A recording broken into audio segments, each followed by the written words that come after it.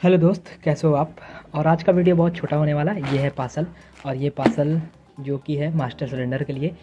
आप देखे होगे, किसी बाइक पे ये क्या बोलते हैं, ये मास्टर सिलेंडर लगा रहता है, जो कि ये कवर रहता है।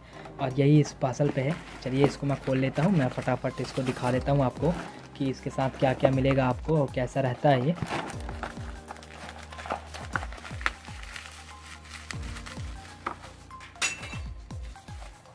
ये नीचे गिर गया है।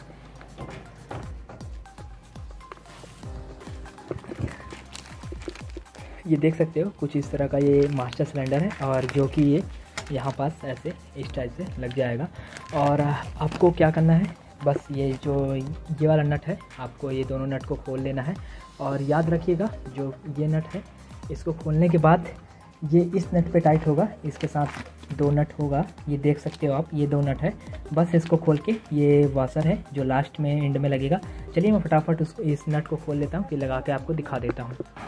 डिस्क्रिप्शन पे लिंक डला हुआ है, आप वहाँ से जाके बाई कर सकते हो, और भी गाड़ियों का लिंक है, आप देख सकते हो। बस आपको ये ध्यान रखना पड़ेगा कि जब आप इसको लगाएँगे तो आप देख सकते हो, ये हल्का यहाँ पास गैप मारेगा। ये देख सकते हो आप, ये साइड पे यहाँ पर गैप करेगा। तो इसको सिर्फ़ क्या करना है आपको, हथौड़े से थोड़ा या तो किसी चीज़ से आपको इसको दबा लेना है, ये अपने आप फिक्स हो जाएगा। इसके साथ आपको ये वाला नट मिलेगा एलेंकी नट जो तीन नंबर की एलेंकी इसमें लगी हुई है। आप देख सकते हो, आप इसी नट से टाइट करिएगा।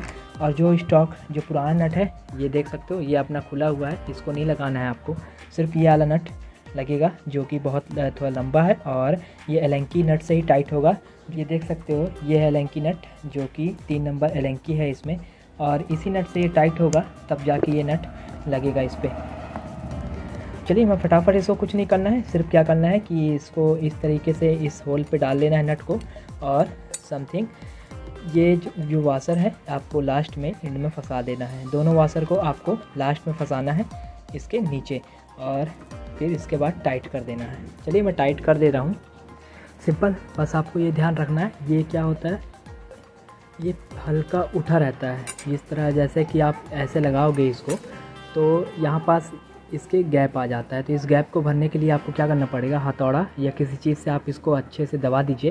तो ये अपने आप देख सकते हो, ये अपने आप सीधा हो जाएगा और इसका गैप भर जाएगा। बस सिंपली कुछ नहीं करना है। बस अब ये वॉशर लगा देना है। इस वॉशर को मैं नीचे ही रख रहा हूँ। क्या है कि ये वाशर ज़्यादा ज़रूरी है लगाना और इसको एलेंकी नट से टाइट करना है। बस, ये देख सकते हो, ये लग गया है। बस, इसके बाद हमको क्या करना है, इसको फंसा देना है। ये हो गया है। चलिए, सिंपल सा फंडा था। बस, इसको आप क्या करना है, हमको अच्छे से टाइट कर देना है।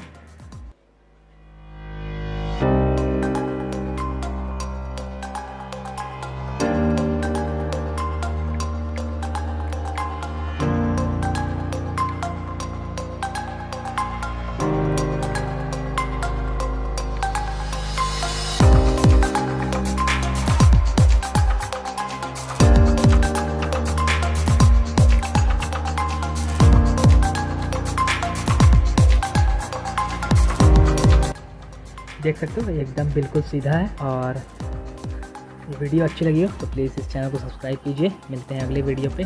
बाय